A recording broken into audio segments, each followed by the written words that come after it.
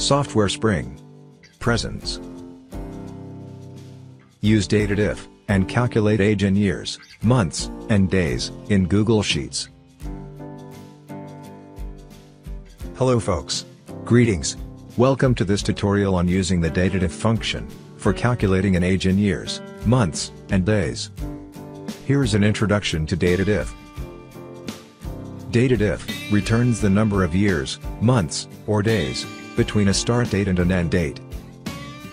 Let's look at the DATEDIF function formula. Here's an example. Start date is the first date of the date range. End date is the last date of the date range. Unit takes one of the following values. Y, YM, MD, M, D, or YD. In this tutorial, I will talk about Y, YM, and MD. For info on the other values of the unit attribute, please refer to the tutorial titled, How to Use Today, and DATEDIF, in Google Sheets. Y. Use it to get the whole years, between two dates.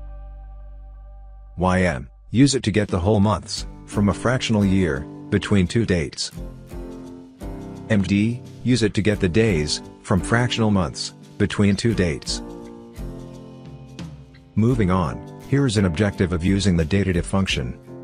To calculate an age in years, months, and days, between a date of birth, and today's date. Alright, let's begin by typing a date of birth.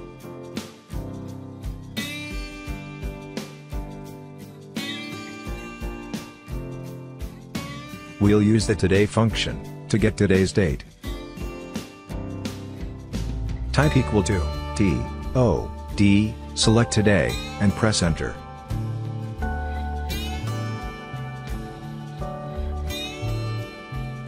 Going forward, let's calculate the age in years, using the DATEDIF function, and its Y attribute. First, type equal to, D, A, T, and select DATEDIF.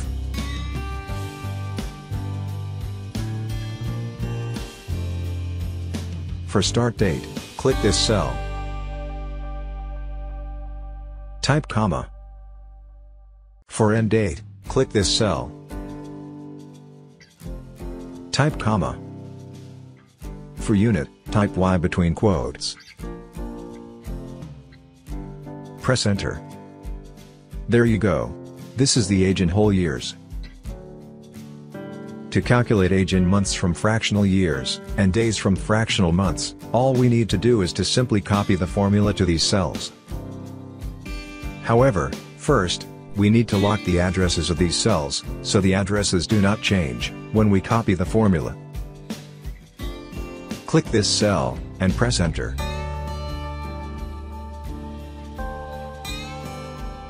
Click before letter A, and press F4. Click before a letter C, and press F4. Press enter. Copy the formula, and paste it into these cells.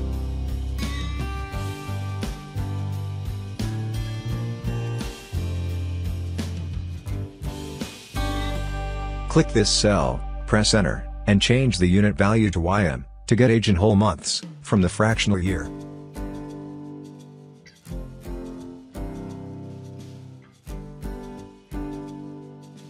Click this cell, press enter, and change the unit value to MD, to get age in days, from the fractional months.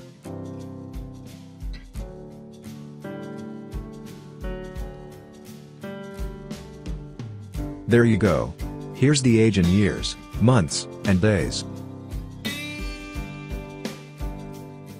That's it folks. Thank you for watching this video. Please subscribe to this channel